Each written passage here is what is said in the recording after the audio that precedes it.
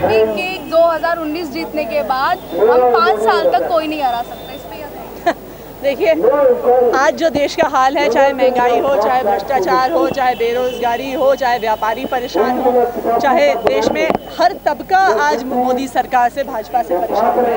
तो वो अगर इस भ्रम में जीना चाहते हैं कि वो 2019 में आने वाले हैं वापस तो उनको भ्रम मुबारक हो मैम और साथ में ये भी सवाल कि 21 पार्टियाँ कांग्रेस में शामिल हुई हैं? क्या आप भी उनको सपोर्ट करती हैं आज भारत देखिए हम इस मुद्दे का समर्थन कर रहे हैं, हम इस सवाल का समर्थन कर रहे हैं, क्योंकि हम ये मानते हैं कि एक आम जनता का सवाल है। और आम जनता मोदी जी से पूछना चाहती है कि जब चार साल पहले आपने चुनाव लड़ा था, तब आपने कहा था, बहुत हुई महँगाई की मार, अब की बार मोदी सरकार।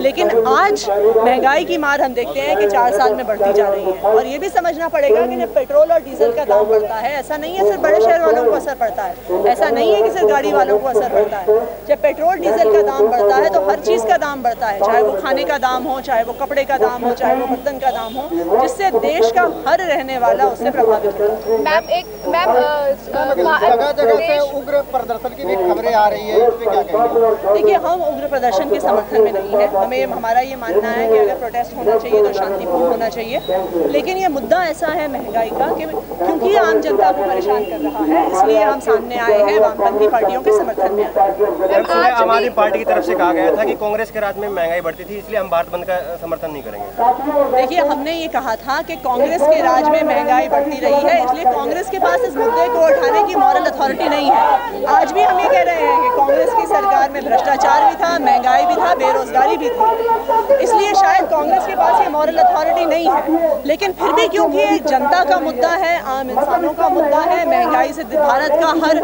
नागरिक प्रभावित है हर रहने वाला प्रभावित है, हम ये सवाल पूछने के लिए मोदी God.